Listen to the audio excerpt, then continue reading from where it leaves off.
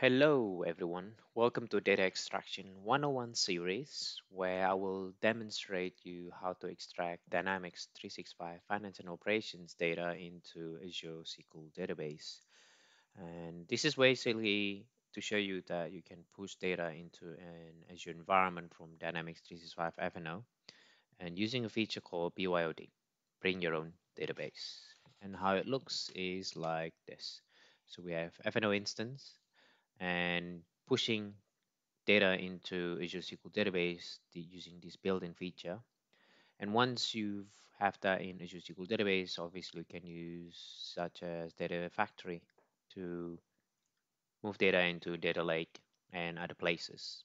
But I'm not going to cover uh, this part on this video. I have actually had created a video before, which I will uh, give you the link uh, on the top right of this video. And feel free to go ahead and have a look. And before we go on to the, de the demo I just want to mention a few things. Uh, this is going to export an entity which is effectively a number of tables uh, combined together. Uh, and that that's called entity in finance and operations. There is also a term called aggregate entities which is a collection of entities uh, merged together. But that's not what we talked about here, just an entity collection of tables. And this feature has been GA since August 2016. So it's been proven, I would say. All right, then let's get to the demo. Now, welcome to Azure Portal.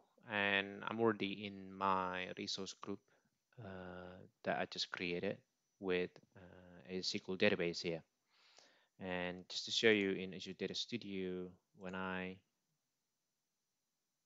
view this database, there is no table, uh, just to show you that. Now, I also have a finance and operations uh, sandbox environment here for testing. Now, first thing first, uh, let's get the connection string of this database. Uh, what you do is you go to that database, you click connection string, and you just copy this ADO.NET SQL authentication one.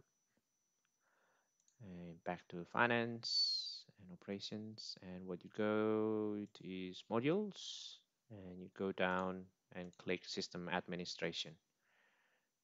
Click data management.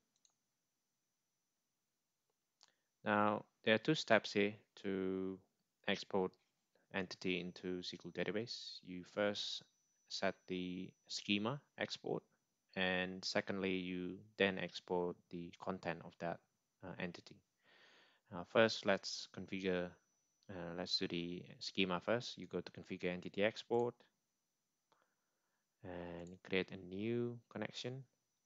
Just call it that. You paste that connection string. You just got put your so you have the right user ID there and I'm just gonna type my SQL Server password and click validate. It'll throw you an error because that uh, uh, this Dynamics is not allowed to access a server. So what you do is you copy that IP address, you go back to SQL Server, and you go to firewalls and virtual networks here on the left. And you want to add that IP just call it FO and save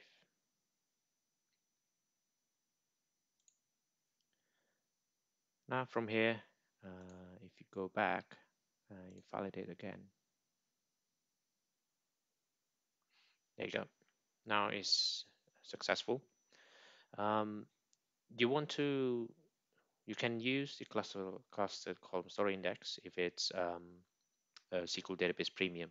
Otherwise, you can't. So I'm just gonna shut it off now because I don't have that. And once you have this uh, test successful completed, so you can go to publish and you have the list of entities here that you can export. I'm just gonna choose one here and click publish. Uh, it's going to take a bit of time. And while waiting for that, if you are interested in incremental load uh, from Dynamics. You can do that by using this change tracking option. Uh, I'm not going to go into detail uh, into that. I'll, I'll share you a link in the description below so you can read further what this means.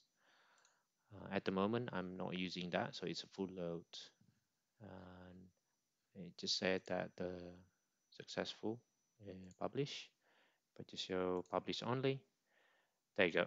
That is published. So the schema has been published. So if I go back, refresh that table, now I have this one. Now bear in mind that Dynamics always exports table or entity in DBO schema. So uh, make sure you have that in your database. And when I select anything, it will have no records because I just uh, I only exported the schema. Try that again. There you go. There's nothing here.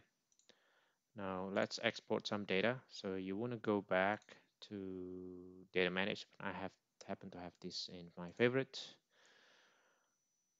And once you have done that, you want to click export here. And I'm just gonna, gonna test again. Uh, BYOD test, and I'm just gonna click search for that same entity.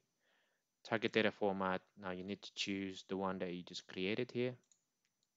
RABYOD is mine. And I'm going to choose full push if you didn't turn on the change tracking uh, you cannot use the incremental push. And you want to add that. And once that's done uh, you can obviously add more entities and export at one go or even you can create a recurring job. So you can do a schedule there. Uh, and but that's just uh, something that you can explore. Uh, now export.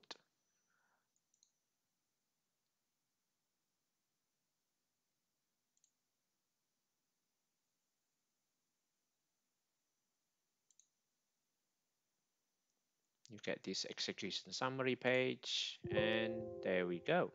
Uh, I have got 62 records when I go back and I select again.